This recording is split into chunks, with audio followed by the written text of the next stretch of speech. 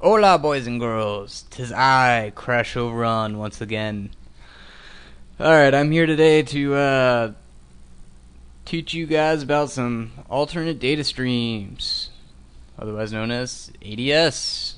Yay!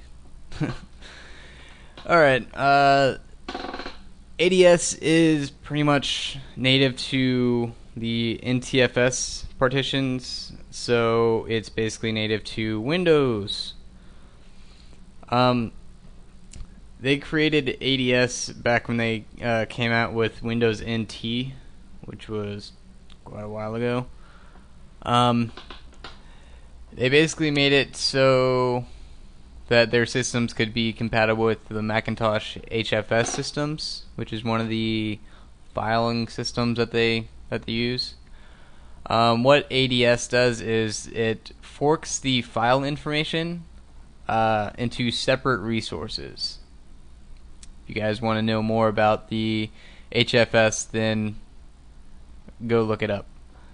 Um, anyways, uh, what the Windows uses alternate data streams for typically is like temporary storage at uh, system attributes, stuff like that. Um, alternate data streams actually isn't too widely known. Uh, it is known about, but not really widely known. It's usually looked over. Um, and it's actually really easy to do. The culprit behind the whole ADS is actually the colon, like that. Alright, let's get started on this. Uh, go ahead and do a dir directory here. Uh, like you guys look at, I have three files here. I have notepad.exe, which is 69 kilobytes, uh, made 213, just last time it was altered. I have uh, example.txt, which is 8 bytes, which is 204, is when it was last altered. And then let's see, I have calc.exe, which is at 7 a.m. Oh yeah, and also look at the the dates here. You see. All right. So one thing that we can do, one easy thing that we can do, would be see echo.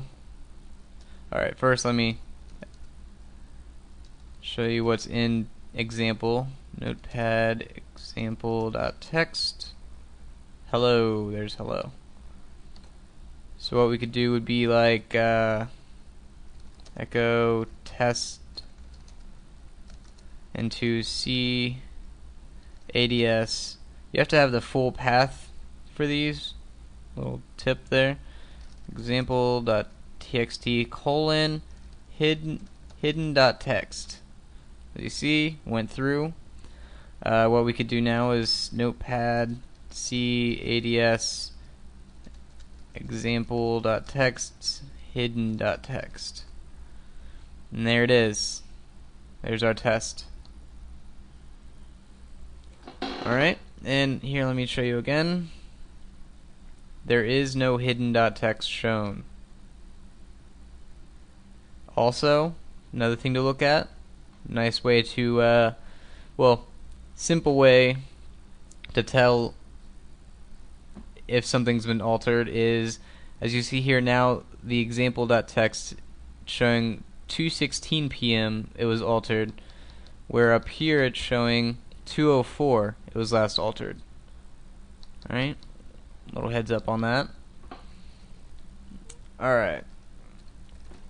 If you know you have an alternate data stream file attached to another file.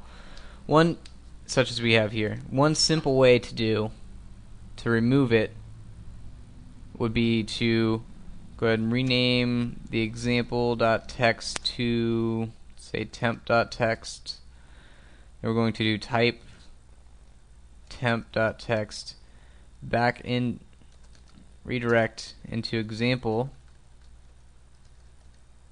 dot text. Uh, for those of you who don't know what type is, Uh, basically, all that does is it echoes out the contents of a file, uh, kind of like cat in Linux for you people. Uh, go ahead and run that. And now we can go ahead and delete temp.txt.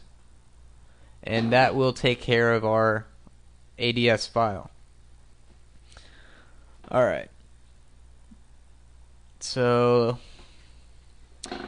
another thing that you can do, uh, reason I have the executables in here, is you can actually do this with uh, EXEs as well. Um, we're going to use a type again, like we just did. Uh, let's do ADS um, calc.exe, redirect it into C ADS notepad.exe colon calc.exe. Run that. Went through. Okay. Start. C. Oh. Let me go ahead and show you guys. Delete calc.exe. Okay. Der. Alright. Now we only have two files. Notice same same size was altered to 19 at 2:19 p.m. rather than up here where it was altered at 2:13 p.m. Okay? All right, start notepad.exe. Oh, forgot. ADS notepad.exe colon calc.exe. And there you go. It started up. And as you see right here, it was deleted. So it's basically hidden a hidden file. So let's get rid of it again like we did just before. Rename notepad.exe temp.exe type temp.exe into notepad.exe and then delete temp.exe. There we go. Alright, there's one more thing I wanted to show you guys. Uh, this here is actually a re really neat little trick. Echo test redirect C ADS colon hidden dot text. Yes, that's right. ADS even works with directories. Run that. As you see, it went through. So notepad C ADS hidden dot text. Bam, there it is. Yeah.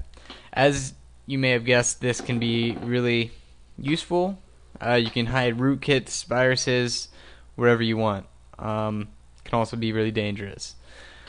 Uh, there's a few ways other than the simple little way that I showed you to get rid of ADS.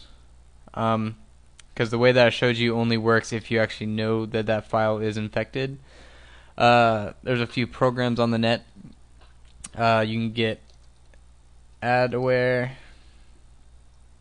You can get uh, one called LADS or LADS. Then there's also one called Crucial ADS. And there's a lot more. That's just a couple, just to get you started. Anyways, uh, that basically covers the basics of alternate data streams. Hope it uh, ignited a little bit of interest there. Uh, hope you have fun. Peace out.